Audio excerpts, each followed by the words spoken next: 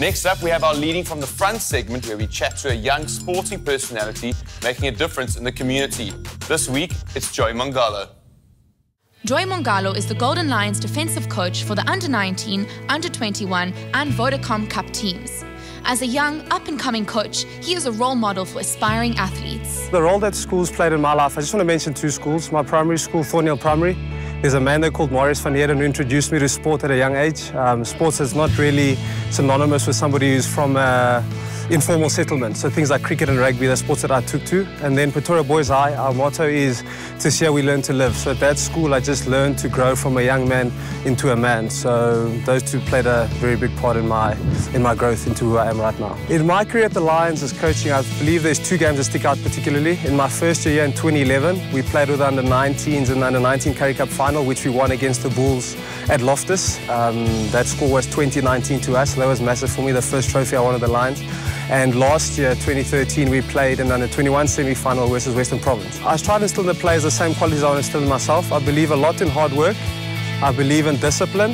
And the last one, I believe in faith. So faith for me, whatever somebody believes in, is the basis of what I do. Then I think you need clearly defined goals. And not just that, but the process to get to the goal. So often people focus hard on the goal like we must win, but the question is how are you're going to win. So the processes for me are very important. Joey married Zinzi Mgadi in December 2013. We met um, through a friend. Um, our friend was having a uh, get together, and so she invited me and invited him as well. And we met there, and then afterwards, we just started getting to know each other and realizing that we actually had a lot of mutual friends, and we didn't even know.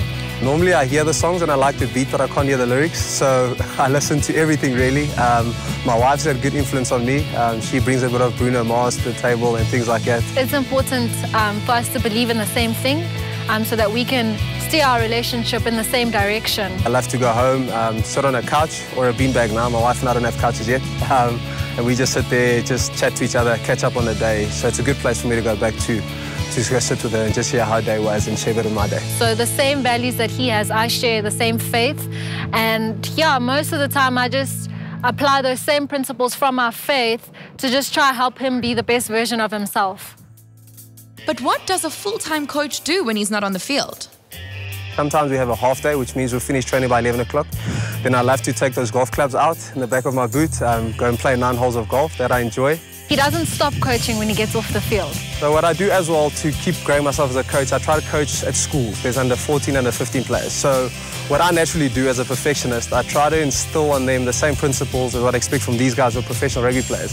But then she always grounds me and says, hey, listen, these guys are only 14 years old. They're trying to enjoy the job. So that's one of the biggest things that she does. She brings me, helps me to get the professionalism, but also the enjoyment factor in what I do. So whenever I have a good time and I enjoy the game, I always think about that. She, that's her influence. Yeah, and that was something that was very attractive to me, someone who's interested in growing people on and off the field. So what does the future hold for Joey Mongalo? In five years' time, I'll be 34.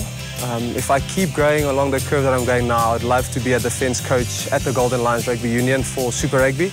If not that, at another unit if opportunity arises. Um, and I think, yeah, that's what I'd like to be. If that's not happening at that age, I would have probably counted my loss with rugby and maybe gone to a school go look to be a director of rugby, director of sport, and by then, hopefully, Zinzi said yes, that we can have children and we can raise them in that stable environment.